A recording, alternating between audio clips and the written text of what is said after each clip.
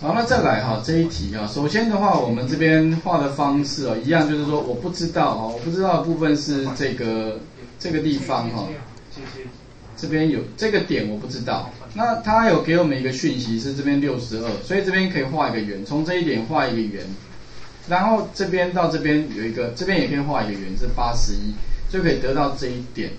那这一条线哈，我们可以用极坐标来画也可以啊。其实用极坐标来画最快嘛。极坐标你只要设定几度呢？嗯，不是哦。这边零度嘛，对不对？画过来应该一百零三嘛，因为这一百八嘛，所以减掉七七，所以一百零。你用极坐标就可以画出这一条线。那它的长度不知道，对不对？没关系，画长一点点。画长一点之后，知道这一点之后，画一条水平线，碰到它不就是知道它到哪里？那最后这边再画一个弧就好了哈。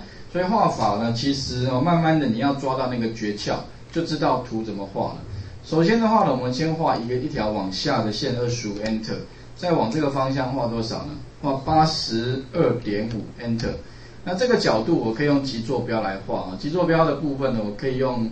设定有没有？这边可以输入一零三 Enter，这样就可以了。一零三马上会会跑出来哈。一零三啊，有没有？一零三就出来了，对不对？一零三出来之后画长一点没关系，因为我不知道到底在哪里，没关系，一零三就好了。接下来的话呢，哈，再利用画圆，有点圆规的这种概念哈，就是六十二。然后呢，再来就是再重复右键重复画圆，哦从这边画过来多少？八十。一 enter 一定会有个焦点，那这两个辅助圆哦，就等一下画完这个线段嘛，焦点画过来，记得拉水平就有个焦点，对不对？点下去就好了。好，那这两条这两个圆呢，就可以怎么样呢？把它按 delete 删除了。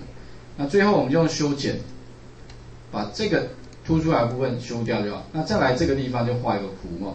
那弧的部分我们知道说它是几，它这个角度是五十五。所以我这边可以用什么呢？绘图里面的弧